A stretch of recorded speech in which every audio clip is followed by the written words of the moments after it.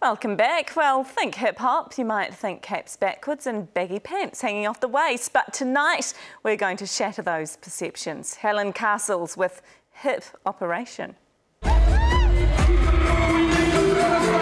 It's loud and often obnoxious and explicit music, but these guys love it.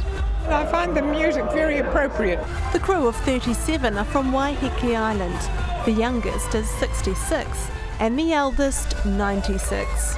We're hoping that nobody dies because it's on the cards.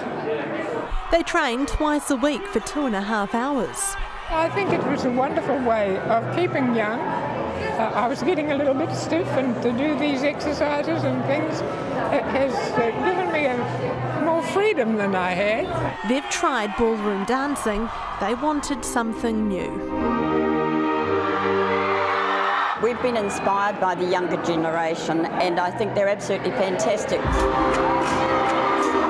And tonight, they went head to head with dancers young enough to be their great grandchildren. It's sort of like doing the finger in a way to the rest of society who thinks that just because you're, uh, you know, a senior citizen, you're supposed to just sit at home and basically rot and die. And the crowd loved it wheelchair, Zimmer frame and all. The energy here tonight has been enormous with some 700 dancers all competing for a spot in Las Vegas. But it was the Hip Operation crew that really got the crowd cheering. They have been the stars of the evening. Hip Operation say it's unlikely they'll win the event, but they want to go to Las Vegas anyway.